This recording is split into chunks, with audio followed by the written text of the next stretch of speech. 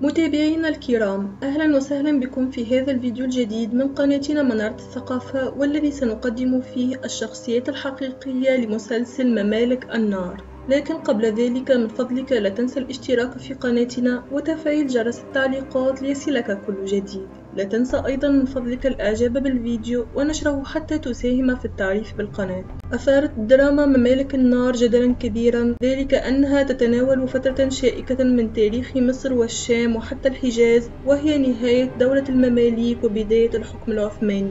وفي هذا التقرير سأقدم لكم الوجوه الحقيقية لهذه الشخصيات التاريخية لتقرروا بنفسكم هل يشبه ممثل ممالك النار الشخصية الحقيقية أم لا. البداية طبعا مع طومان باي والذي أدى دوره خالد النبوي فيما أدى إدريس خروبي دور طومان باي صغيرا. نمر إلى دور قانصوه الغوري والذي أداه رشيد عساف أما دور السلطان محمد الفاتح فلقد أداه رفيق علي أحمد.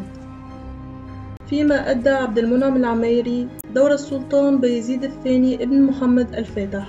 نأتي الآن إلى السلطان ياو السليم الأول والذي أدى دوره الممثل محمود ناصر.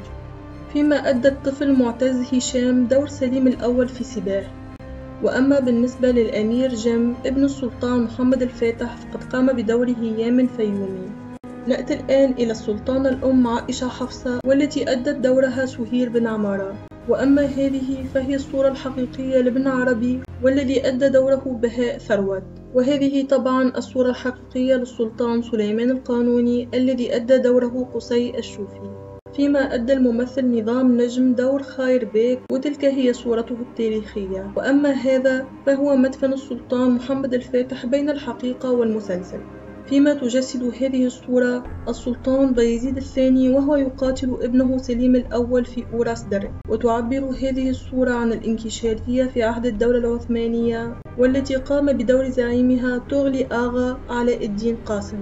نأتي الآن إلى هذه الصورة والتي تجسد معركة الريدانية التاريخية نمر إلى شانه الشاه أحمد بن بيزيد والذي أدى دوره علاء الزغبي ثم إلى كوجا سنان باشا والذي أدى دوره رامز الأسود. وأما بالنسبة للصدر الأعظم يونس باشا فقد أدى دوره شادي الصفدي. وننهي هذا التقرير بهذه الصورة التاريخية والتي تجسد شنق طومان باي على باب زويلة وهكذا أكون قد قدمت لكم الوجوه الحقيقية لهذه الشخصيات التاريخية. أتمنى أن يكون هذا الفيديو قد أعجبكم وإلى اللقاء في تقارير قادمة. التقرير القادم الذي هو بصدد الإنجاز سيكون عن الحقيقة والخيال في الجزء الثاني من دراما السلطانة كوسام إلى اللقاء.